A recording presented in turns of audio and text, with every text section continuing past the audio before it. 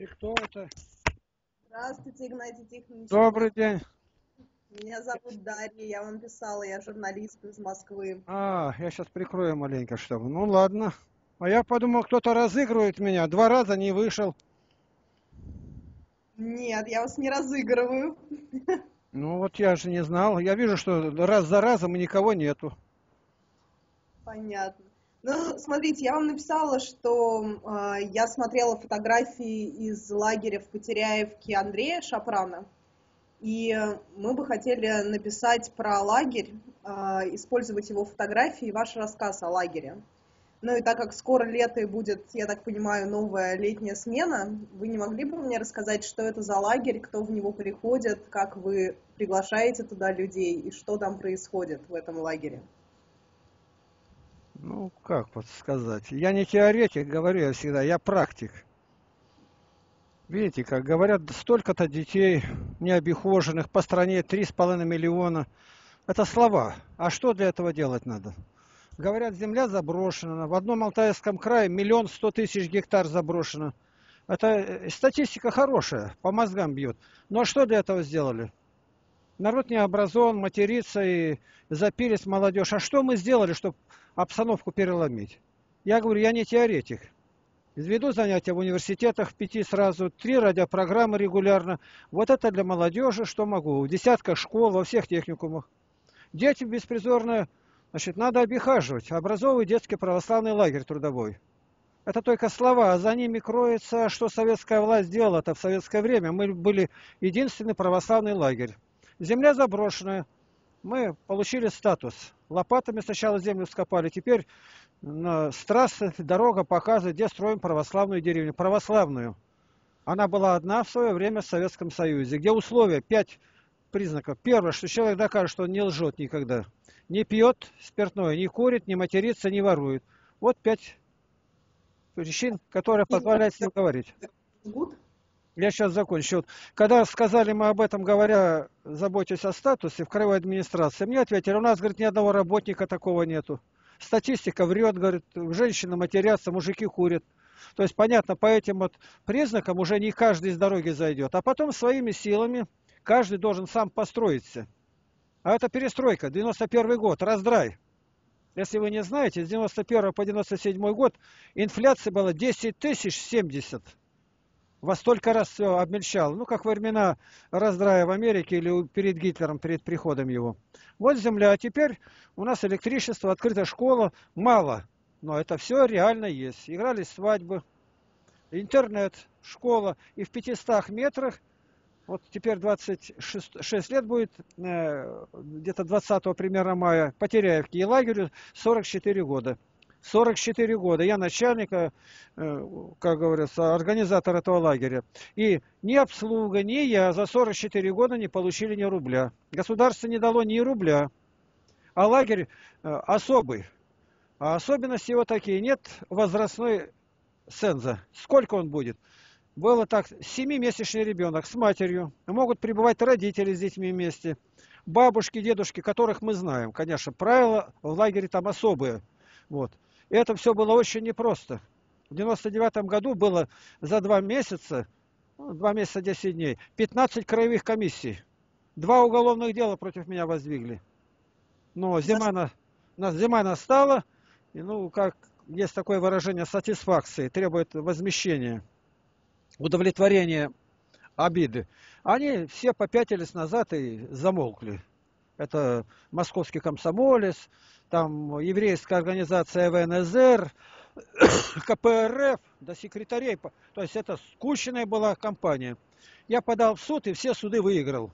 Заплатили, опубликовали по ГТРК и прочее. Мы отстояли. Это было все непросто, это слова только. Как они оккупировали, до ФСБ доходило, прокуратура, пожарники, милиция. Как дети наши на крышах стояли и скандировали «Не заходите!» И лозунги были «Коммунисты, людоеды, займитесь своей душою». Так дальше. Волки лютые, руки прочь от лагеря стана. Это все снято у нас на видео. И мы отстояли. И Господь сделал так, что их сердца тронулись. Вчерашние враги стали помогать нам. Это Бог так сделал. Бог воздвигал таких людей, о которых мы не подозревали. За нас восстала путинская газета, российская газета называется, учредитель правительства Российской Федерации. И они с фотографиями все напечатали что с нами делали. И сразу же заместители губернатора, машины приехали, всю осаду сняли мгновенно. То есть это серьезный был уже ответ оттуда. Назвали шабаш нечистой силы. Ничего не нашли. И все анализы брали воды, молока, все выше среднерайонных. Это что-то значит. Допрашивали детей. Территория. А? Что у вас за территория? Где вы находитесь? Мы находимся Алтайский край. Нет, я понимаю. А что это за место, где вы размещаете людей? Кому принадлежит это? Ну, теперь по Теряевке. А тогда это принадлежало селу Корщину, куда наша деревня, исчезнувшая в 72 году, отошли земли. 20 лет там был пустырь. Ничего не было. Государственные земли, я не понимаю. Государственные земли, все, э, ну, колхозы они отошли. Но когда мы лагерь образовывали, мы стали ходатайствовать перед сельсоветом, куда отошли наши деревенские земли, дать нам 3 гектара под, под лагерь. А у них главный агроном мой крестник. И он там все это дело везде ходил, и за подписями, с печатями нам дали. Дали землю 3 гектара. Это огородчик у нас был, и где сам лагерь расположенный. До времени, пока не стали мы ходатайствовать об образовании деревни, 91 год. А лагерь в 72 году. Видите, разница какая. И у нас 18 лет, раз нас сжигали дотла. Дотла. Мы приезжали, одни угольки были. И каждый год начинали строиться заново. Это вообразить нельзя. А когда уже деревня стала, тогда нас уже никто не трогал. Потому что там зимой люди остаются, там хозяйство и техника и прочее, электричество. Тогда ничего этого не было. Вот смотрите, у вас живут люди, пользуются электричеством, водой. Кто это оплачивает? Ну, сами оплачивают. Сами копают колодец, как за воду-то? Я выкопал колодец за свои деньги, моя вода я черпаю, никому не должен. Это если в Москве сейчас ну, начнется какая-то там авария, ударят где-то там по водопроводным станциям, это в газете писали, у вас только пробка будет 130 километров. Верхние этажи туалетной жижей зальют все улицы и все, воды-то не будет. А у нас это ничего нету, я почерпнул колодец, мы его вырыли сами. А люди бесплатно живут в лагере? Как это бесплатно? А на что хлеб? Ну а сколько стоит тогда? А вот сколько стоит? Вот вопрос стоит. Когда мы собирались э, в лагерь, каждый вез с собой хлеб. Где достать? Рядом соседней там на станции было молоко, там покупали, рыбу ловили. Что могли, сажали. Уже короткое время пройдет, ягоды идут. Теперь деревня, легче будет где-то покупать. Даром ничего нигде нету. Но мне всегда помогали, помогали продуктами. То есть это большие предприятия какие-то. Машины давало мне главное управление МВД. Э, у меня близкие отношения с, начальником краевой милиции, с прокурором края. И они все помогали. Вот глава городской администрации эти машины давали, детей увезти туда. Оттуда. А оттуда уже, ну, как придется. Ищем разные попутный транспорт или 4 э, километра от железнодорожного разъезда, 4 километра. Вот дети уезжают. То есть деньги вам не платят люди, Ни которые... копейки никто. Волка ноги кормят. Поговорка это о нас. Мы начинаем искать. Смена, насколько люди приезжают по времени? Ну, у нас, э, если на, на месяц человеку понравилось, остается на второй. Раньше у нас было с 10 июня и доходило до 28 августа. А нынче у нас короче, до 2 августа, это день закрытия уже лагеря. Потому что учителя, которые работают, ну, наши волонтеры, им нужно уже себя обиходить. Они готовятся в школе, ремонт делают, и ну так уже... А расскажите, как строится день, как проводят досуг люди в лагере? В первую очередь мы кого набираем? Делаем объявления в газетах, бесплатно все это. В разные газеты. Потом на столбах наклеиваем данные, что открывается лагерь даем свои телефоны, по стационарный мобильный, люди звонят. Лагерь православный трудовой. Назначаем у нас тут центральный проспект Ленина и памятник Пушкина.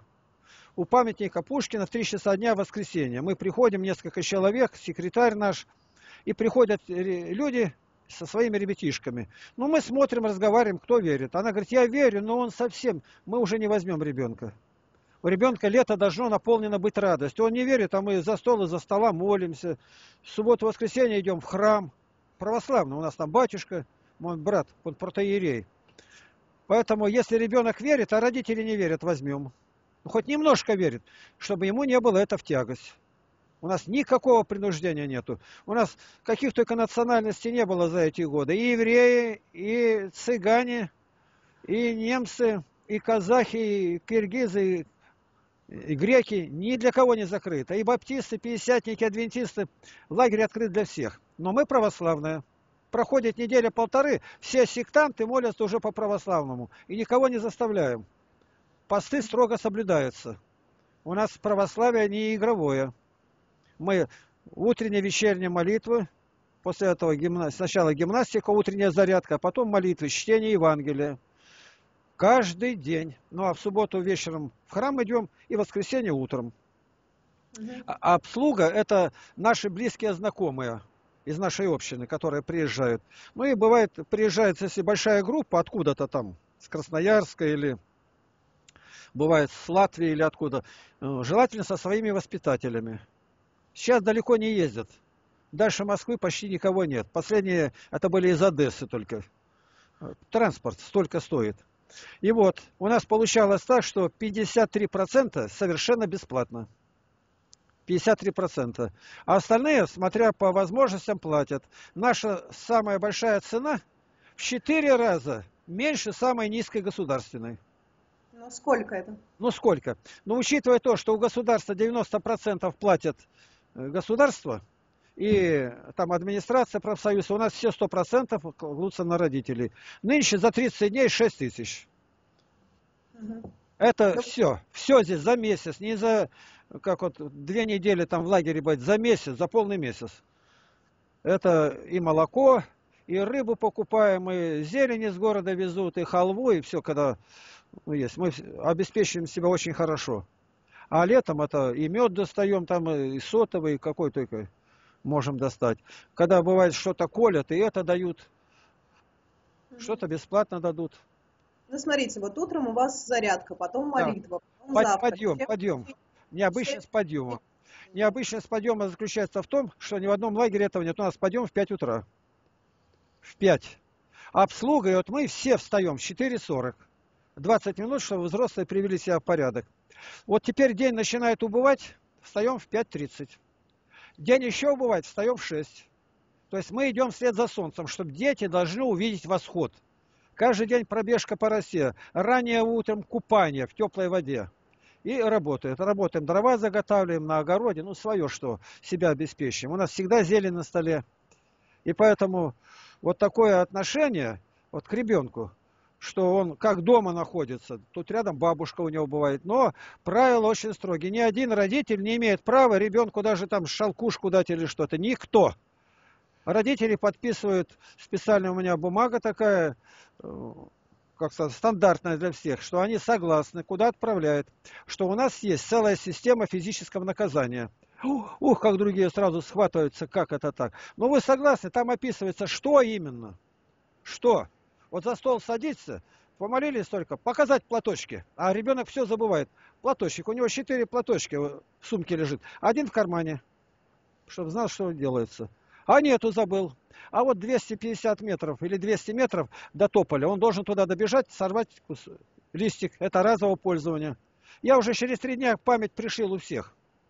Он не все забывает. И одежду бросает. Мать говорит, пришел без портфеля, там где-то футбол играл и забыл и ушел. У меня они через три дня уже все помнят. Как за стол сели, а дежурные там в платочках, в фартуке, все, на фотографиях видели как. Они обходят лагерь и вещи брошенные собирают. Чьи?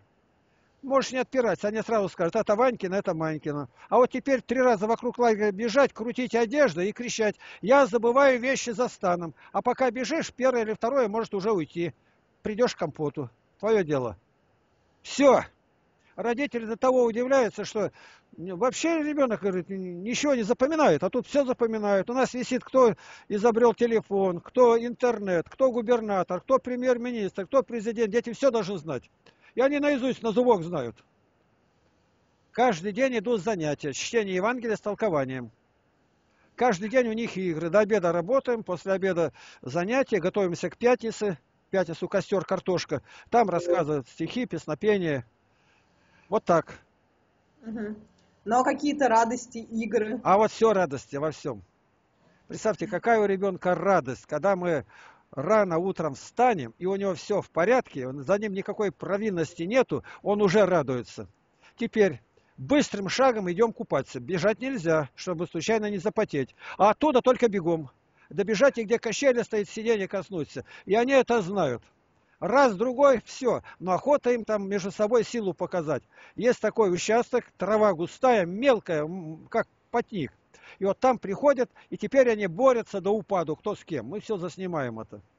Вот детям нравится лазить по деревьям. У нас специально выбраны большие деревья березовые, и там они как обезьяны лазят.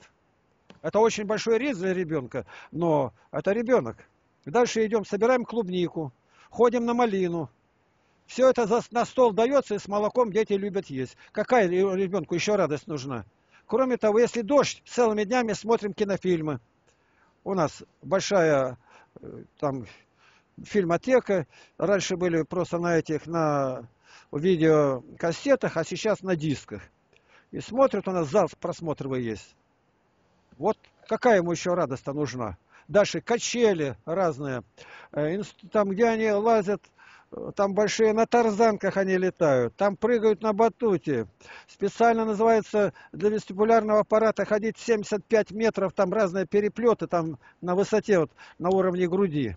Там ходят они, там играют. Городки, футбол, бадминтон там играют, волейбол. То есть игры у них в достатке. А сколько человек у вас в лагере? А сейчас меньше. Раньше у нас было в среднем 108-109 со взрослыми. А сейчас? А сейчас ни одного нету. Они уезжают и все. В, в августе уехали, а вот в июне будем опять набирать, не знаем. Вот сейчас уже заранее просятся из Москвы, бывает дальше там захватывают, там Орловская, но мы не знаем. Наши правила, но кроме того дорога очень дорого стоит. Дорога. Угу. Ну а вы причисляете себя, вот на сайте у вас написано к русской православной церкви за рубежом, да? Да, как именно так. Мы не причисляем, мы действительно так и относимся. А как так получилось? И что? Ну, ну как так получилось? Вы же находитесь как? не за рубежом. Как? А мало что мы находимся здесь. Мы не просто верующие, мы серьезно верим-то. Мы, мы большие гонения от них, а преследования были. Они меня фактически посадили, когда я в 86 году был осужден уже. Притом не один раз. И поэтому с ними нам совершенно не по пути. Видя вот это предательство, измену, все построено на деньгах, у нас ничего этого нету. У нас тарелка не ходит, в церкви ни свечи, ничто не продается. Сообща собрали, купили воск, сами вылили чисто восковые свечи. Мы показываем православие во всей чистоте. Вот Андрей был, он своими глазами это видел. У нас игрового нету. У нас все серьезно. Если уже Пост, верующий, пост не нарушается. У нас посты совершенно никто не нарушает. Никто. И не выпрашивает у батюшки в пост, молоко есть. Это бесполезно. Ну, а, с кем вы общаетесь из священников, вы лично? Ну, с кем я, как сказать, общаюсь. Вот я дома сижу. Ну, кто приезжает, знакомые, близкие. Вот летом были на день, приезжает местный митрополит, э, патриарша из патриархии приезжают со своими священниками, секретари, там и э, хористы, семинаристы. Это все у нас на видео. Значит, мы относимся к русской православной церкви за рубежом. Я не понимаю, что это значит. Можете объяснить, пожалуйста? Ну, а что тут объяснять-то? Когда русские оказались за рубежом, вот эта диаспора, это 5 миллионов можно считать. И там была образована своя церковь, там несколько епископов оказались. Во главе избрали митрополита Антония Храповицкого, Карла Увара, их называли карловщане. Это церковь православная, но только оказалась за рубежом, так сказать, белая иммигрантская царская. В ней коммунисты никакой роли уже не играли. Не было, что священники были тайно сексоты КГБ. Этого не было. То есть она в этом отличалась очень серьезно но сейчас это все равно единая система. Вот сейчас, это все, когда принят был уже акт о каноническом общении, нас ничто не разделяет. Но под их руководством мы не идем. Никак. Они к нам приезжают, мы идем, а тут снимки стоят. Я подошел, архиерей там обнимает, целует. У нас очень близкие отношения, хорошие. С московской патриархией. Вот. Но под их длань мы не пойдем никогда. Потому что столько там неправды столько лжи. Сейчас вот эта вот встреча с патриархом, там такой раздрай начинается. А мы, наоборот, стараемся помочь, чтобы этого не было. Мы не связаны ничем, мы не раболепствуем перед ними. Видя, что неправда, мы прямо говорим, вот это неправда, а они друг друга боятся. Вот Андрей Кураев, вы его знаете. И он говорит, вот, Игнатий говорит, ему разницы нет, кто перед ним, там генерал или царь или епископ. Он говорит так, как есть. А я не могу это говорить. Я думаю, что епископ скажет, какое ко мне отношение будет. А теперь он может говорить, когда вы стукнули и вышибли из этой обоймы. У нас очень большая разница в этих вопросах отношения к жизни. А в вероучении у нас ни одной буквы нет разницы. Все одинаковые. И иконы, и службы, и слова, и песнопения. Все одинаковые. Ну, то есть та церковь, в которой вы ходите с детьми, это просто обычная православная церковь? Обыкновенная Или... православная церковь. Но только у нас все серьезно, все одеты по форме. У нас этого нет, чтобы с улицы зашел или женщина в брюках. В брюках она даже на, в деревне не появится. Написано, на территории деревни курить запрещается. Вот к нам приехали, ну, вы кого-то не знаете. У нас э, краевом УВД, там фоторепортер Галенко Влад работает. Ну и он говорит, а можно мне взять, я возьму ту девушку, она секретарь городского отдела, Морозова Саша. Ну, приехала она, вот переоделась, она платки надела, все как будто бы наша стоит. И главный журнал милицейский, сейчас минутку я покажу, где она.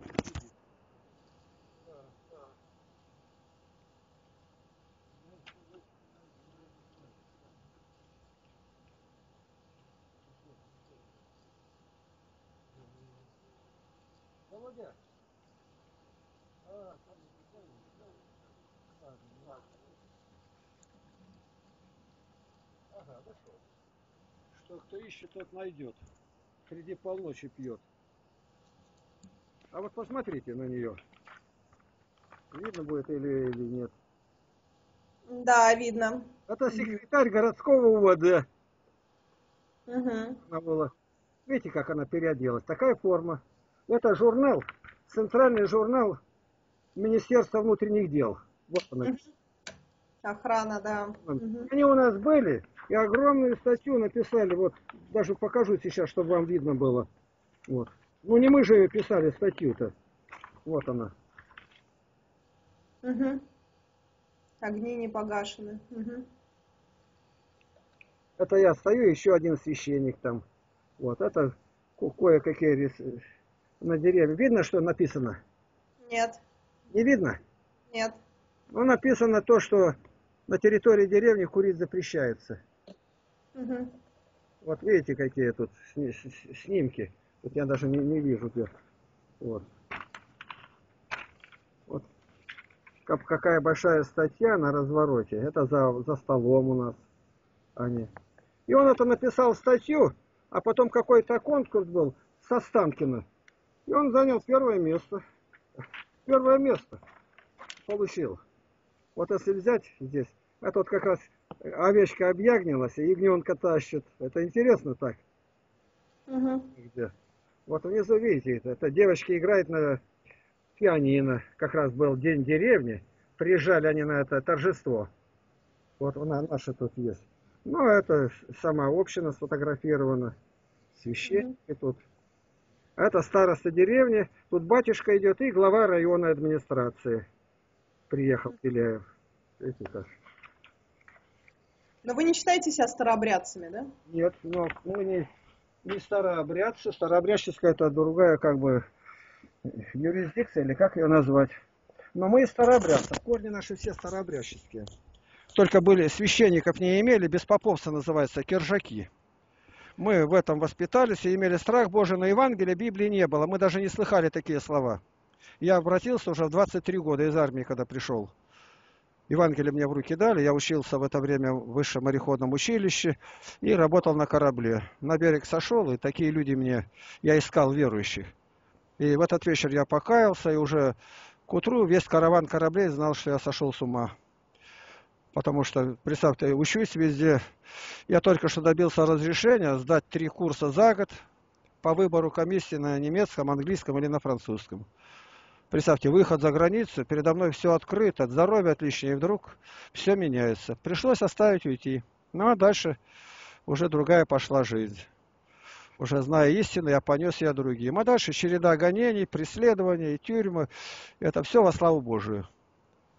И вот Бог позволил так все иметь. Вот Андрей был, он все это видел, он интересный такой, интересуется. Ну а что сейчас для вас самое сложное в, в организации этого летнего лагеря? Да как-то я никогда так не считал, что сложное. Я только если совсем уже сложное, вот когда мы, у нас миссия была миссионерская, мы ездили, купили специально «Газель», у меня вышло 38 томов из печати моих книг. И я принял решение подарить это библиотекам. Мы из Барнаула, ну видите, это Алтайский край, доехали до Владивостока, Тихого океана, находка.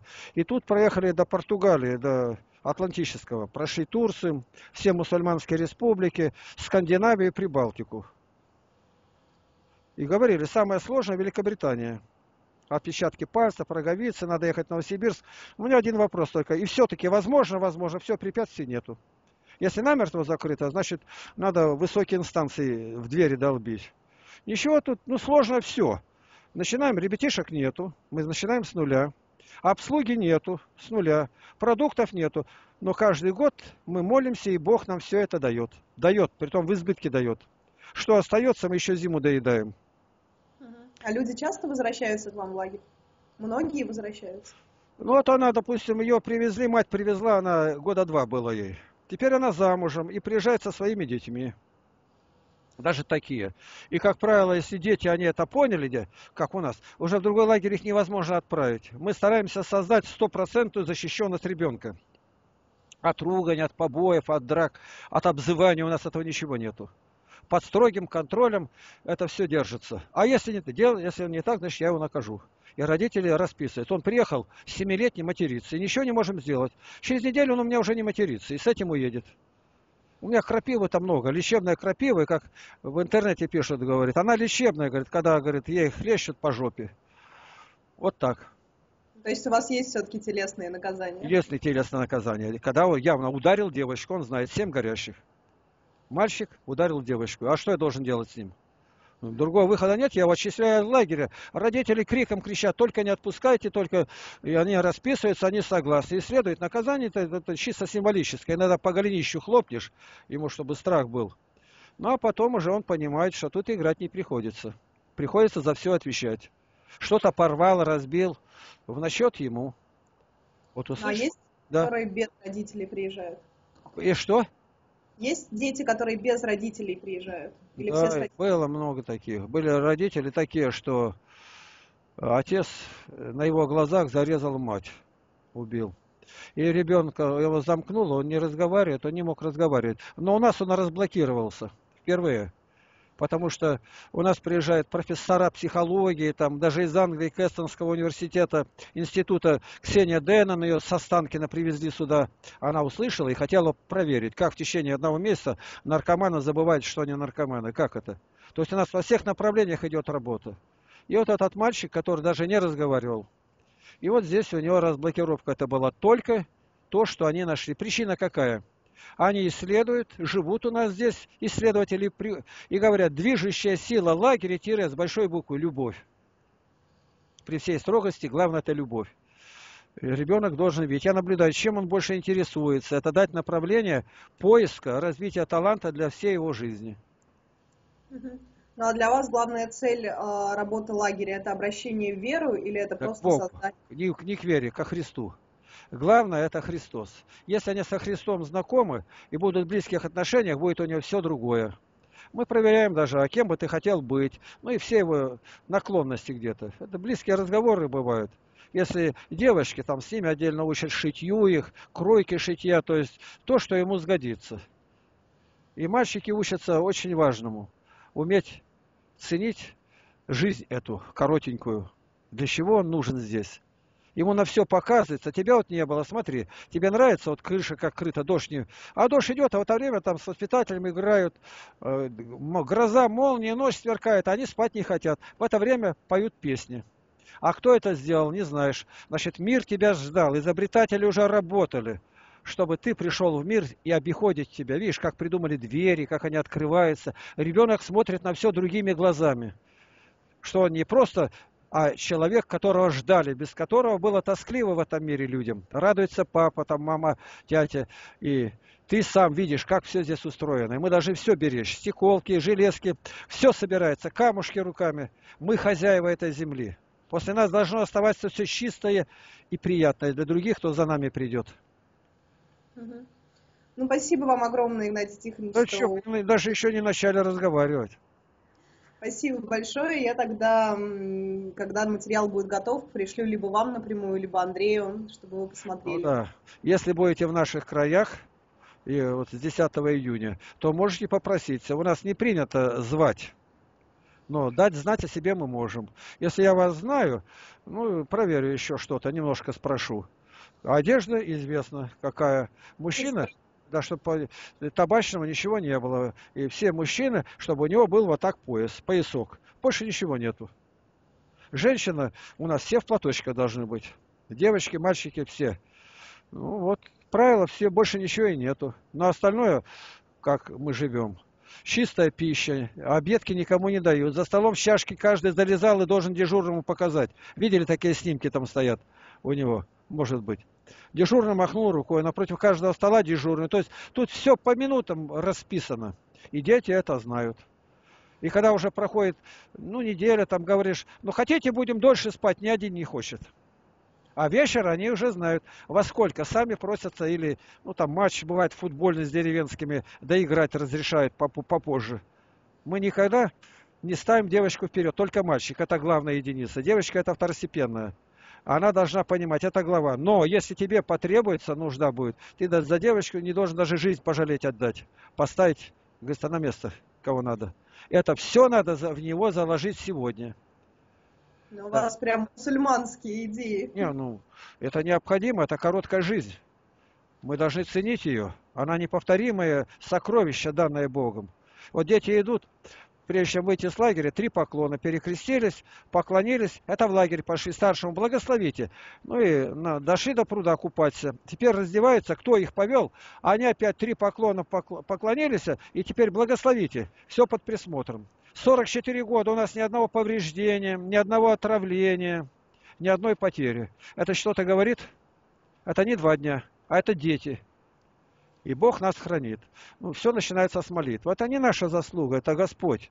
Учатся стряпать отдельно, и мальчики, и девочки. Там такие пироги настряпают. Русская печь, да еще две русские печи. Сами пекут. Это все у нас заснято есть. Своими руками мы все это делаем. Нам никто это не делает. Мы все делаем сами. Угу. А врач у вас есть в лагере?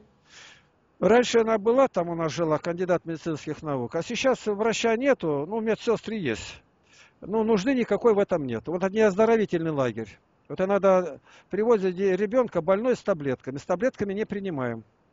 Если он таблетки отдаст или выбросит, тогда мы примем. Вот нынче приехали, они даже встречи не было с ними. А вот подсунули с нашими молочниками, привезли, на, принимай, приехали. И сразу девочка, больные почки, что-то с почками. Теперь я начинаю лечить. А как лечить? Батюшка там набрали березовый сок, мне дают.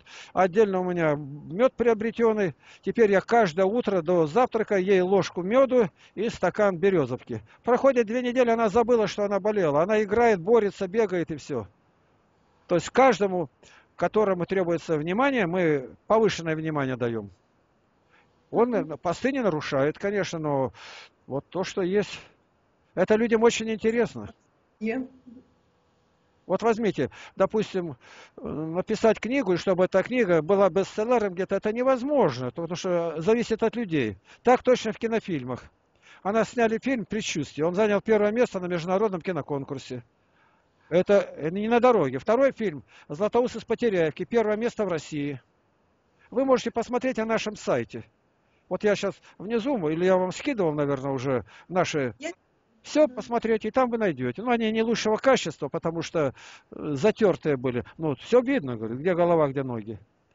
Надо жить интересно, мы все время об этом говорим, в бедности.